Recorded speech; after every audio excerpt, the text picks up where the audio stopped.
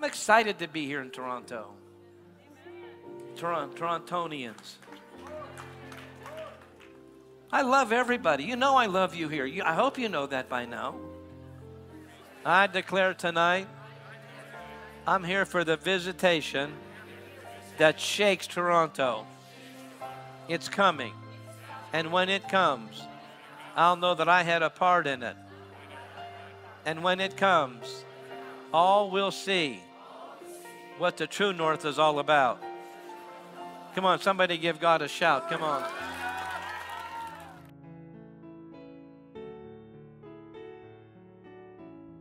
I came to one of your services on June 17th. I had been diagnosed with liver cancer Liver cancer. and I was going to remove, they were going to remove 60% of my liver and hope that I would have six months or maybe a year To live. to live.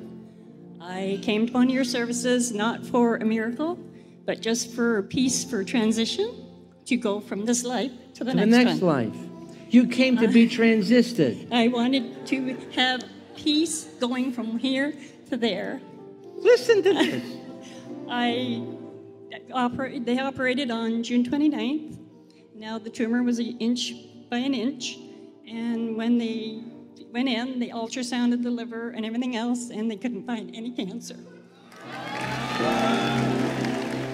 Come on. I'm going to pray for you because God's bigger than our expectations. If you're a Christian, yes, get a hold of His word, speak His word.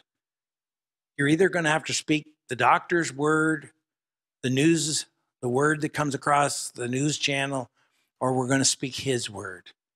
And we're smart to speak His word. Trust in the Lord. Why not? How much? With all our might talk to your head and say, Head, I'm not leaning in your way, I'm leaning in God's way. Trust in the Lord with all your heart. Don't lean under your own understanding. Just keep acknowledging Him. That's really what Molly was doing, coming and acknowledging that there was a God preparing to meet Him. But He met her in that service and beautifully, miraculously healed her. I'm praying for you. Put your hand wherever there's a problem. If you're not right with God, call on his name. That's the greatest healing. Jesus, forgive me.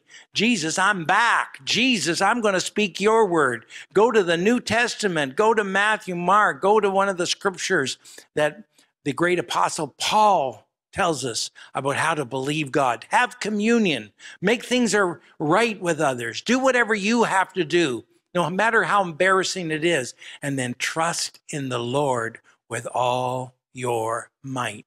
I'm praying for you right now. Put, come on, get ready, get into agreement. In the name of Jesus, I speak to this circumstance, whether it be in your family, I speak to the circumstance. I'm in agreement with you. Things are going to adjust, whether it be in your job, I'm in agreement with you. Oh, no, nothing's going to ever be perfect, perfect, but we're going to get an adjustment.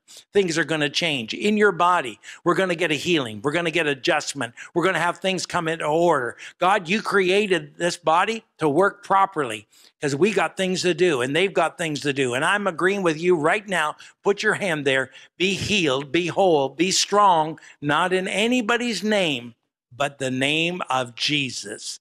Jesus, Jesus.